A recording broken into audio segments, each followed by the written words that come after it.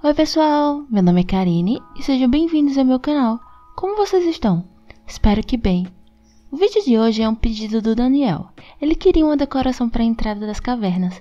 Eu fiz de um jeito simples e bem rápido para que vocês possam fazer logo no início do jogo. Então, sem mais delongas, vamos para o vídeo. Eu nem precisei retirar o turf. Quando a gente encontra a pedra que vai para as cavernas, o turf em volta dela já está retirado, então só precisei completar com o turf de rochas das cavernas. Eu comecei a tirar os cantos, os turfs de cada canto, para fazer um lugarzinho para pôr a casa dos coelhos. E eu também usei o slime turf porque eu acho a cor verde dele bem legal para essa decoração. Ah, eu comecei a usar os muros com as novas skins que a Clay disponibilizou pra gente e eu tô amando.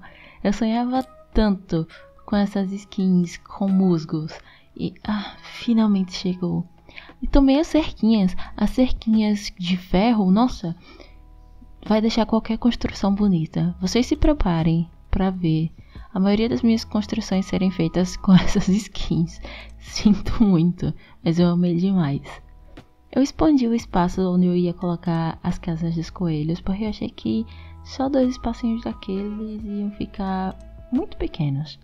Ah, antes de tudo, vocês, antes de fazerem isso, é bom vocês irem nas cavernas para pegar tudo que precisem, porque as casas de coelhos e os tuffs que eu usei, você só vai encontrar lá. Eu fechei a área da, das casinhas de coelho e comecei a decorar dentro também. Eu usei árvores, berries e vasos de aqueles vasos que a gente encontra nas ruínas e também suculentas. Eu achei que ficou bem legal. Coloquei algumas flores em volta e deixei. Fiz as ruas em todos os lados e coloquei cobblestone. Porque vai que você tá fazendo a cidadezinha no seu mundo, é mais interessante você fazer uma ligação para cada lado, porque geralmente essa área ela tá no meio de onde, onde a gente faz as construções, então é bom fazer várias ruas para ligar umas às outras. A outra coisa, se você for construir isso no seu mundo, não use o Weber. Foi um erro. Eu usei o Weber porque eu achei que ia ficar bonitinho, porque ele tava com a skin de morcego e tal, mas os coelhos e os morcegos, quando ficavam à noite, sempre estavam vindo atrás de mim e eu ficava nervosa e eles me machucavam, então nada de Weber.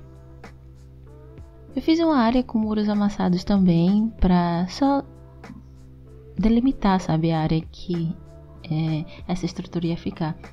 Eu usei as luminárias, mas se você for fazer isso no início do jogo, é, você não precisa pôr luminárias, claro, porque você não vai ter. Mas se você quiser deixar o espaço para pôr elas, é legal. Você pode usar a End Table, porque você consegue logo no início do jogo, é só encontrar ela e martelar para pegar a blueprint, então é bem tranquilo. Eu coloquei alguns baús também, caso vocês queiram deixar algumas coisas que são necessárias para vocês irem lá embaixo, picaretas, o chapéu de mineiro e fiz a decoração na frente. Eu coloquei os vasinhos de plantas, porque a gente não tem muitas plantas assim para decorar. Eu queria que tivesse mais decoração. Ah, eu também fiz um canto com luminárias e eu coloquei duas celas de bífalos que parecem poltronas. Então o pessoal pode ir ali e sentar bonitinho. Eu amo, amo essas poltronas de bífalo, amo. E esse foi o vídeo de hoje. Espero que vocês tenham gostado e que esse vídeo possa servir de inspiração para vocês. Muito obrigada por assistirem até aqui, muito obrigada pelo apoio e não esqueça, você é incrível, não importa o que digam. Vejo vocês no próximo vídeo. Até mais. Tchau, tchau.